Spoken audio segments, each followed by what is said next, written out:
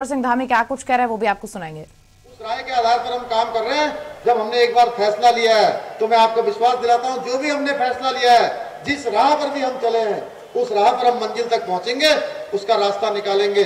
मैं आज के अवसर पर आप सभी का धन्यवाद करते हुए हाँ एक बात और मेरे संज्ञान में आई है कि हमारे जितने जिला पंचायत के अध्यक्ष हैं, उनको पहले राज्य मंत्री का दर्जा होता था, हमारी सरकार उनको राज्य मंत्री का दर्जा भी देगी आगे तक।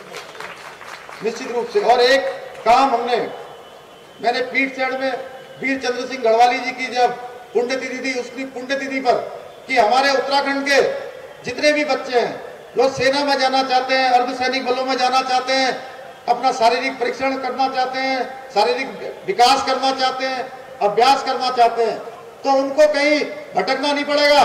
अब प्रत्येक ग्राम सभा में हमने जो जिम खोलने की घोषणा की थी, एक ओपन जिम खोला जाएगा, उसका भी हमने शासनादेश निकाल दिया है। पहले चरण में हम जल्दी से जल्दी काम हो।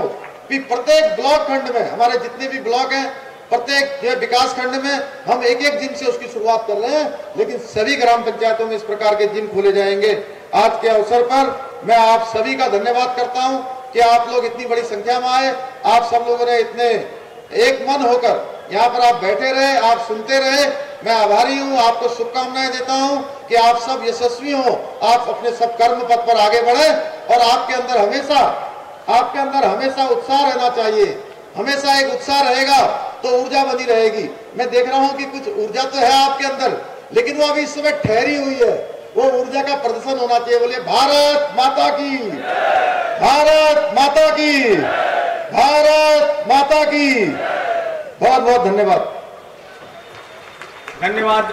माननीय मुख्यमंत्री जी। माननीय